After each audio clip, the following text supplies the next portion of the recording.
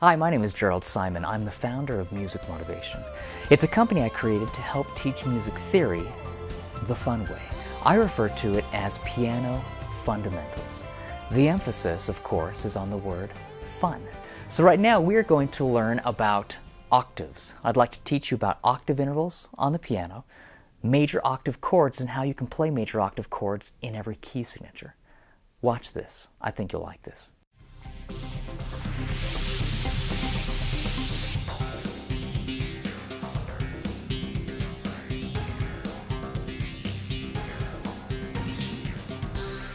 So the first thing we're going to do is we're going to learn about the octave interval. Now, what does the word octave even mean? Well, the word oct means eight. Think of an octagon. An octagon is a shape that has eight sides. An octopus is a creature that lives in the ocean that has eight tentacles, arms, legs, whatever you want to call it, but it's eight, oct. So the octave is referring to the octava. It is a distance of eight tones where you have the same tone separated, but if you were to count up according to like a major scale, it would be C to C. Watch this. C, this is middle C right here. This is C4. It's the fourth C on the piano. So if I play the octave interval, I'm going to play C to C. If I count up from C4, the fourth C on the piano, up to C5, which is the fifth C on the piano, those are eight. Watch. One, two, three, four, five, six, seven, eight. Octave from C to C.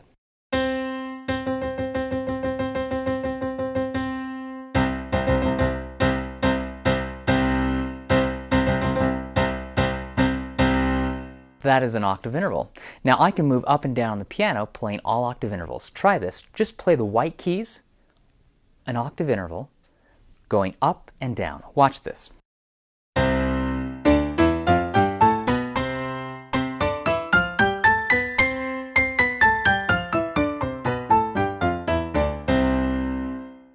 That is called an harmonic octave interval. Harmonic means harmony. You play them together at the same time. If I wanted to do a melodic octave interval, I would break them apart where I would play the bottom tone and then the top tone. So that was the unharmonic octave interval. I now am going to play melodic octave interval.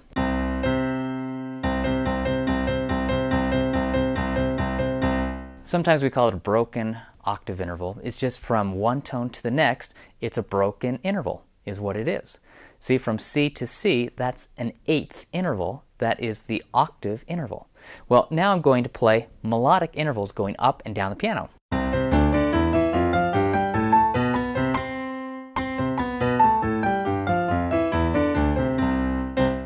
Now, if I wanted to play a major octave chord, first I would need to know what the octave interval is, which I already know, C to C.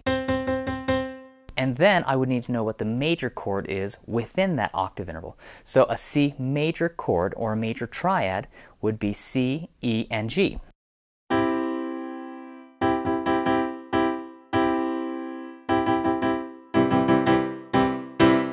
So I put my thumb on C with the right hand, I put my third finger on E, and my pinky is on G. One, three, five. I'm going to pull these other two fingers back just so you can see it's one, three, five.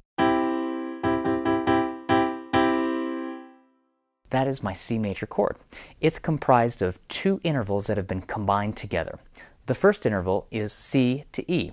If I play C and E, that is called a third interval. See, from C, which would be 1, I just count up 3, just using the white keys, one, two, three.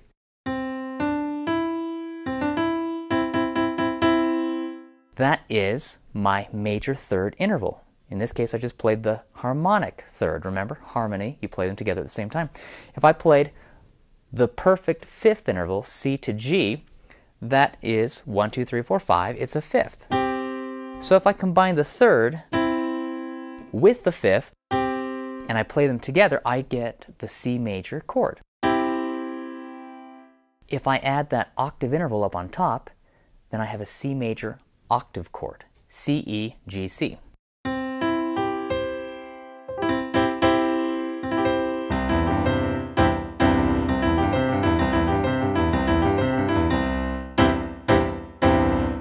So now I have a C major octave chord, and you can play around with this. It's, it's really simple to do. My fingering for the right hand, I'm playing one, two, three, five. If you notice my fourth finger, my ring fingers on both hands, I don't use the ring fingers. They just kind of hover in the air. So it's one, two, three, five.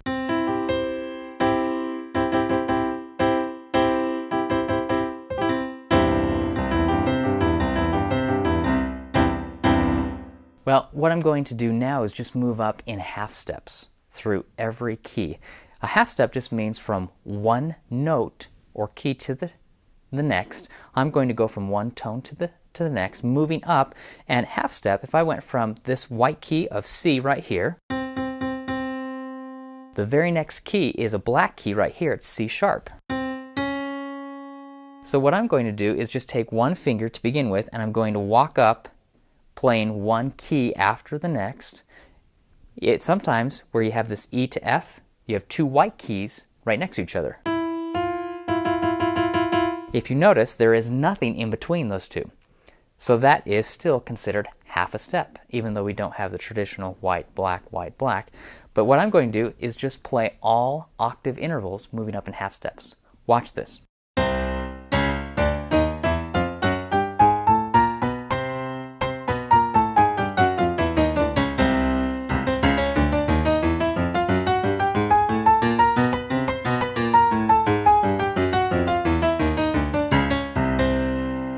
Of a fun exercise. Now what I'm going to do is play that C major octave chord, and it's just C, E, G, C.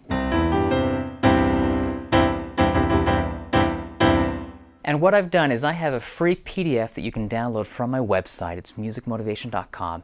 In the information below, I will have the link to this free PDF that you can print off, share any piano teachers if you want to share it with your piano students. The music is notated and written out so you can read the music. It's great as an exercise, but also it's nice to go through every key signature. I really stress once you can do something in one key, try it in every key signature. So I'm going to play all major octave chords following this PDF right here that's available on my website, and I will include the link below. But let me play this, and then I'll play around with it a bit. Try this.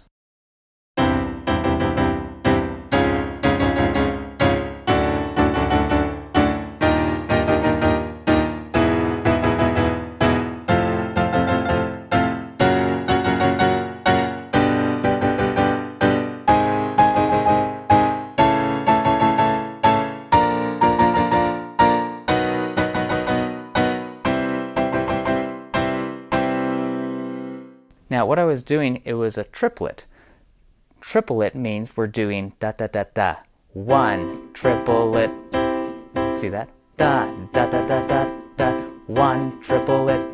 See that?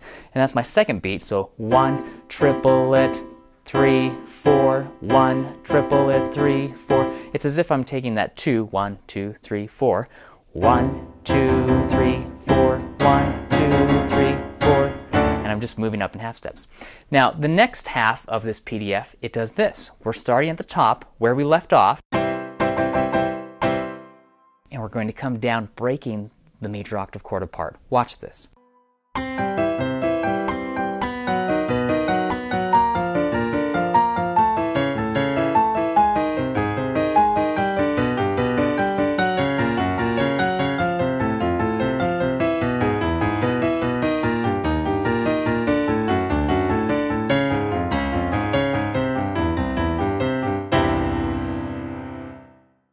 That is all there is to it.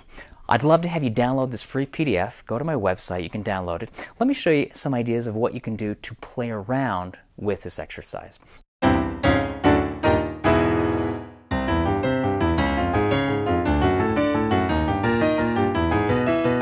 What if I started on the outside intervals and went to the inside intervals? So I will play the C octave interval, and then I will play that third in the middle, and I'll rock back and forth between the two. Watch this.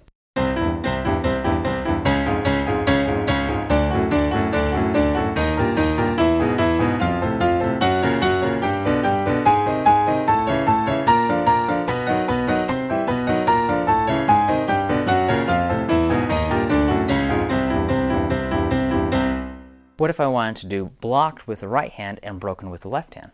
Try this.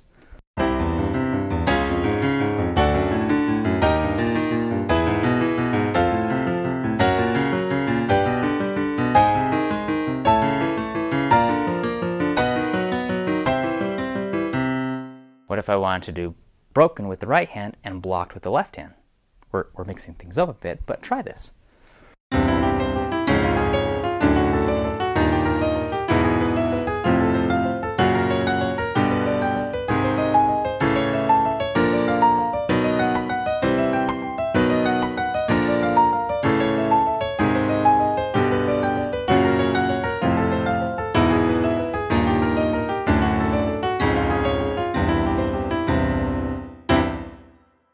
So I hope that helps you. hope it gives you some ideas on what you can do with the major octave chord. Not only how to play it, but how to play around with it. Part of it is being able to take the music theory and create and to compose, to arrange. The three main areas I like to focus on, one I call theory therapy, one I refer to as innovative improvisation, and the last I refer to as creative composition. Essentially, it's teaching music theory, teaching arranging, and improvisation and helping others learn how to compose music of their own. So I hope you'll have fun with this. Play around with this. Go to my website, musicmotivation.com. You can download this free PDF. I'd love to have you watch this video. You can share it with family or friends who may enjoy learning about major octave chords as well. Every week I'm coming out with brand new videos where I teach the music theory, where I teach about improvisation and arranging, and I teach about composition. So I'd love to have you subscribe to my YouTube channel. That is youtube.com slash Jerald Simon. You can click on the link below, subscribe to my YouTube channel.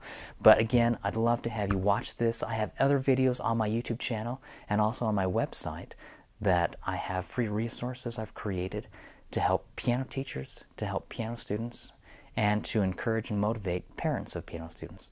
So I hope you enjoy this. Have a wonderful day. See you guys.